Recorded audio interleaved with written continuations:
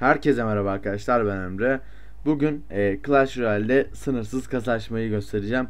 Bu bir mobil uygulama, e, simülasyon daha doğrusu.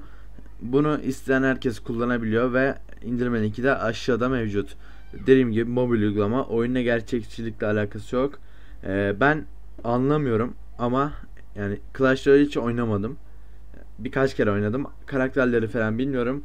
Hepsinden bir defa açacağım. Şöyle e, başlayalım. İlk kasamızı açtık ve bundan gördüğünüz gibi bunlar çıktı. E, ne olduğunu... Oh reklam. Reklamlara tıklamamak lazım. Okay. Evet. Burada gördüğünüz gibi size gösteriyor. E, pardon. Nereden giriyorduk oraya? Ha, karttan giriyoruz. İşte burada her şeyi açıyorsunuz. Kafanıza göre takılın. Fire Gold. Oraya tıklayınca gold veriyor bak. Yo. Evet bir tane Wood'un açalım.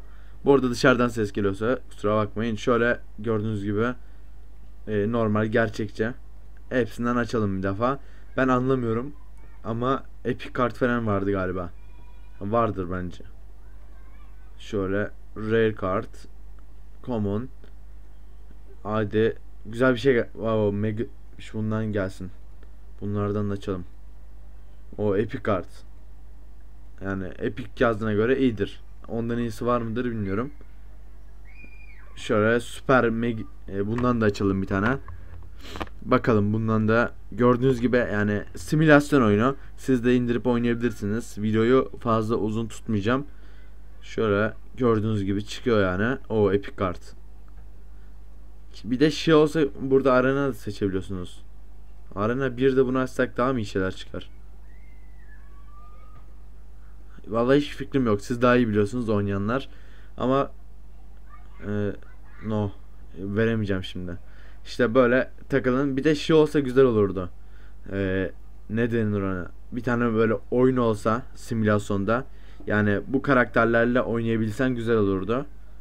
E, neyse burada resetleyebiliyorsunuz şöyle. Resete oh reklam. Resete basarsanız sıfırlıyor. Gördüğünüz gibi reset evet gördüğünüz gibi sıfırlandı her şey. İşte siz böyle kafanıza göre oynayın. Arena 8'e kadar var.